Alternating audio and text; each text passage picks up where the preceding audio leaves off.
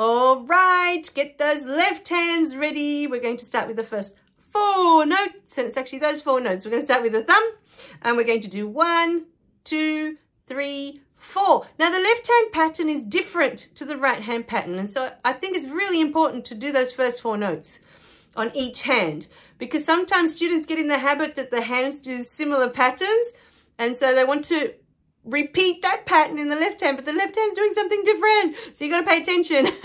Here we're going to do one, two, three, four. We're actually going down to the four. We're not rolling back to anything like the right hand, right? One, two, three, four. All right, I'm going to see you at the piano, but get those left hands ready.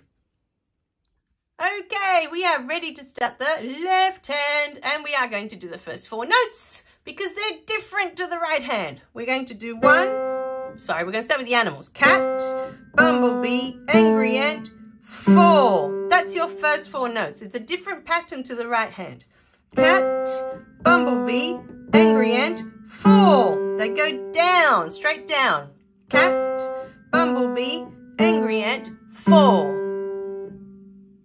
Cat, bumblebee, angry ant, four. One more time for the animals.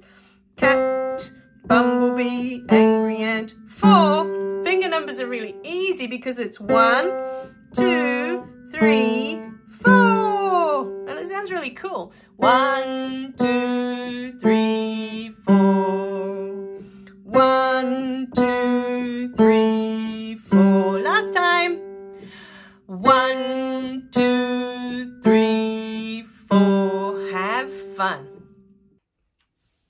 Okay, how did you go with those first four notes in the left hand on the on line two? I was going to say on the bottom line.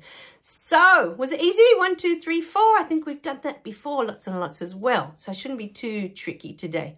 So, Again, the last three notes are the same as the last three notes in total. So this should be super duper easy today. I'll see you in the next video so we can get the next three notes done.